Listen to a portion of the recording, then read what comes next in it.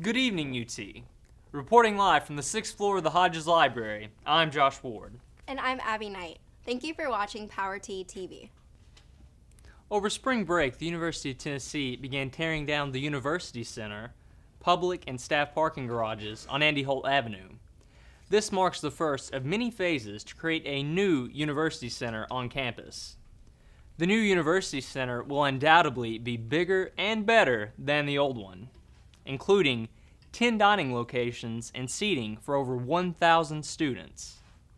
The new UT bookstore will cover almost 50,000 square feet, which is 20,000 more square feet than the current UT bookstore. The project will be completed in phases, allowing the UC to continue to function as construction continues. This project is set to be completed in 2015, or in UT time, that's like 30 years, so it doesn't apply to us. Last week, voting for the 2012 2013 Student Government Association elections closed. With a victory, the Fuel campaign was elected over the Revolt campaign, and their campaign, Fuel promised to appeal to the administration in stating a tuition cap. They also plan to develop a smartphone application for the UT students next fall. The University of Kentucky Wildcats dominated the University of Kansas Jayhawks, winning the NCAA men's basketball championship game 67 to 59. The Kentucky Wildcats secured their eighth NCAA championship. This was their first win under, under Kentucky head coach John Calipari. Although the Volunteers did not make it to the NCAA men's tournament this year, the win was a sweet victory for the SEC. Besides, there's always next year, right? According to the Associated Press, Tennessee Governor Bill Haslam announced that he may sign a new evolution bill in the state of Tennessee. This bill would protect teachers in public schools from punishment, allowing students to engage in candid conversations about controversial scientific theories like evolution and global warming. However, the signing of this bill is currently under great scrutiny. Some critics even believe the bill is setting the state of Tennessee back 90 years. In fact, in 1925, the legendary Scopes Monkeys trial was held in Tennessee. This trial banned teaching of creationism in Tennessee public schools. Regardless of this controversy, whether or not Governor Haslam will sign the bill has not yet been determined.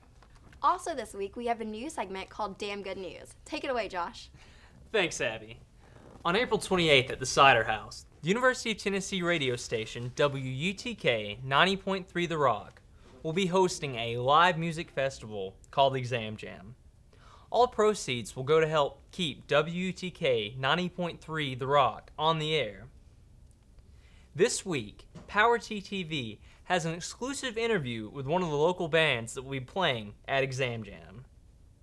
This week, we got an exclusive interview with Plainclothes Tracy.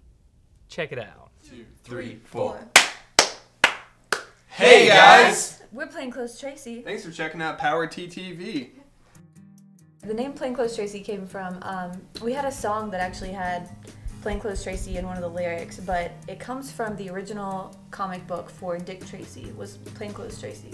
So it sounds like a girl who doesn't dress up too fancily, but really it's a, uh, a detective who was quite a hard ass, and he, he had a plainclothes detective suit on. Yeah, we're excited about Exam Jam. Or I mean, we're gonna probably start hyping the show very soon ourselves. Man, it's it's gonna be an exciting show. And plus, like we've never played the Cider House either. Yeah. It's one of the few 18 and up shows that we get to play because Yeah. we're in bars most of the time. I'm excited about it. No. I would love to jam before I do my exams. And Yeah. We've got Little Iffy, Oh, the Bad Dudes, Plainclothes Tracy, Mutation. Wolf at the Door, and Mutations. Cool. We played, So- which I guess we played with most of those except for, um, what, uh, Wolf at the Door and We, Bad we didn't Dudes. play with Bad Dudes. Bad dudes. Come see us at the Cider House, April 28th.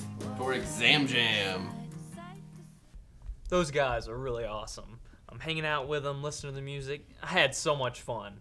Um, I really can't wait to see them at Exam Jam. Exam Jam is going to be really awesome. That's damn good news. Now off to our man on the street, Brock Ward. Brock? Thank you, Abby. Hello, UT. This is Brock Ward. at Brock Ward's Award Bonanza, where I ask random questions to random people for random money. Now, the game is simple. I ask three trivia questions, and if they get all three correct, they win $1. Let's begin. Can you name all three of the Deathly Hallows? Uh, the Elder Wand, the Invisibility Cloak, and the Resurrection Stone. What a boss! What color shoes was Lieutenant Dan wearing on Forrest Gump's shrimping boat? Oh, gosh. I'm almost tempted to say white. That's probably the best answer I have. I'm sorry, sir. Lieutenant Dan had no legs on the shrimping boat.